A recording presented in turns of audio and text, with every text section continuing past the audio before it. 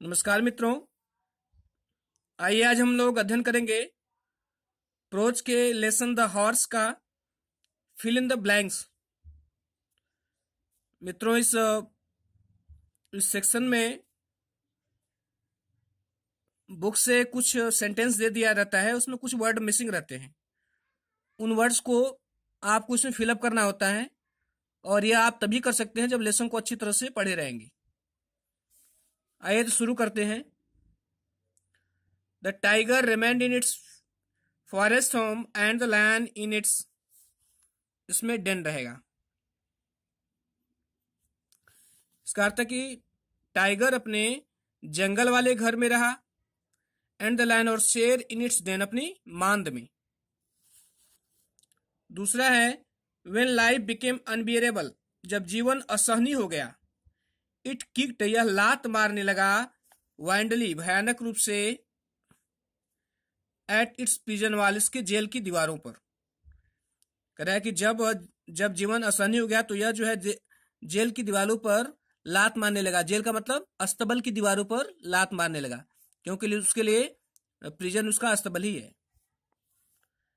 The work of creating the इसमें universe होगा universe means ब्रह्मांड। इसमें होगा कि the work of creating the universe ब्रह्मांड के निर्माण का कार्य वॉज़ नियरली ओवर लगभग पूरा हो गया था when a new new idea stuck to the creator's mind तभी जो है क्रिएटर के मस्तिष्क में एक नया आइडिया आया। रहा है कि ब्रह्मांड के निर्माण का कार्य लगभग पूरा होने वाला था, तभी क्रिएटर के दिमाग में एक आइडिया आया। कौन सा आइडिया आया था? एक, जानवरों की एक नई नई प्रजाति बनाने का। अगला है कि the creator called the death है, बीच में फिलअप करना है। तो इसका होगा, इसका ऑन होगा। The creator called on death creator ने मृत्यु को बुलाया। क्रिएटर का मतलब सृष्टि की रचना करने वाला। सृष्टि की रचना करने वाले का मतलब क्रिएटर या ईश्वर कह सकते हैं, ईश्वर ने मृत्यु को बुलाया। अगला है कि the creator look down again and and saw the horse standing in a narrow world space we के लिए बीच में रहेगा नींग। इसमें नींग रहेगा, नींग मीन्स होता है हिन हिनाना। आइए फिर से इसका समझा देते हैं। कि the creator look down again creator पुनः नीचे देखा एंड सा द हॉर्स और देखा कि द हॉर्स घोड़ा जो है standing in narrow world space कि घोड़ा खड़ा है कहा? नैरो एक संकीर्ण वर्ल्ड स्पेस दीवालों से घिरे हुए स्थान में नींग वीकली, यहाँ नींग रहेगा, नींग वीकली, जो दैन, जो दयनीय ढंग से ही निना रहा है। उसने देखा कि घोड़ा जो है, एक संकीर्ण दीवालों से घिरे हुए स्थान में खड़ा है और दयनीय ढंग से वह हिनहिना रहा है। सिक्स है ही ग्रीव विथ सेम इसमें रहेगा red he grew red with same वह शर्म से लाल हो गया। सेवन है। The creator was with his own work इसमें होगा डिलाइटेड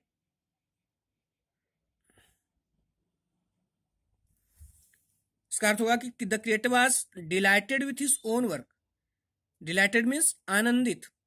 क्रिएटर अपने काम से आनंदित था। क्रिएटर अपने कार्य से आनंदित था। मतलब उसने घोड़े को बनाया तो घोड़े को दौड़ते हुए जब वो देख रहा था तो देख रहा था तो उसे अच्छा लगा और बहुत खुश था। अगला है कि द, आप creating the universe was nearly over when a new idea struck the creator's mind इसमें होगा the work of creating the universe इसमें वर्क होगा। इसका अर्थ हो जाएगा कि the work of creating the universe, ब्रह्मांड की रचना करने का कार्य वह नियरली ओवर लगभग पूरा होने वाला था वेन तभी जो है a new idea struck the creator's mind creator के मस्तिष्क में एक नया आइडिया आया। अगला देखिए द हार्स वॉज़ केप्ट देखिए कन्फाइंड इसमें रहेगा कन्फाइंड कह रहा कि हार्स को एक जेल में सीमित कर दिया गया या उसे एक जेल में बंद कर दिया गया जेल का मतलब अस्तबल तो घोड़े को अस्तबल में सीमित कर दिया गया या उसको बंद कर दिया गया अगला देखिए। One day the man cast his nets and इसमें कैप्चर्ड रहेगा। कैप्चर्ड इसका अर्थ होगा कैप्चर्ड मीन्स पकड़ लिया। कैप्चर्ड का मतलब पकड़ लिया। वन डे एक दिन the man cast his nets आदमी ने अपने जाल को बिछाया एंड कैप्चर्ड द हॉर्स और घोड़े को पकड़ लिया। एक दिन आदमी अपना जाल बिछाया, घोड़े को पकड़ लिया। अगला है मैन देन इसमें रहेगा कार्डेड कार्डेड का मतलब होता है रस्सी बांधना। इसका होगा man then corded together the front leg मनुष्य ने इसके जो फ्रंट लेग थे, सामने वाले पैर थे क्या किया? कार्डेड रस्सी बाँध दिया। मनुष्य ने इसके अगले पैरों में रस्सी बाँध दिया एंड सेट इट फ्री और उसको फ्री कर दिया मतलब स्वतंत्र कर दिया। मनुष्य ने घोड़े के अगले पैरों में रस्सी बाँध कर उसको खुला छोड़ दिया। अगला रहेगा but father what burden it will be to me इसमें और रहेगा। करेगा, लेकिन पिताजी, क्या यह मेरे पर एक बोझ नहीं होगा? यह तब मनुष्य कहता है, जब भगवान देखता है घोड़ा जो है मेढक की तरह कूद रहा है, तब बड़ा दुखिया को मैंने ऐसा जानवर बना दिया। और मनुष्य कहता है कि इसे अपने इसे अपने घर ले जाओ, अपने अस्तबल में ले जाओ। तब मनुष्य उससे भगवान से कहता है, भगवान, क्या ये मेरे ऊपर एक बोझ नहीं होगा? तो भगवान कहता है हाँ बोझ होगा, लेकिन इसे स्वीकार करके तुम अपने हृदय की विशालता को प्रदर्शित करो। उसके बाद है द हार्स वॉज़ केप्ट कहा कि द हार्स वाज केप्ट इसमें रहेगा in. The horse was kept in a narrow world play place कह रहा है कि घोड़े को एक नैरो वर्ल्ड एक संकीर्ण दीवालों से घिरे हुए स्थान में रखा गया। अर्थात कहाँ रखा गया?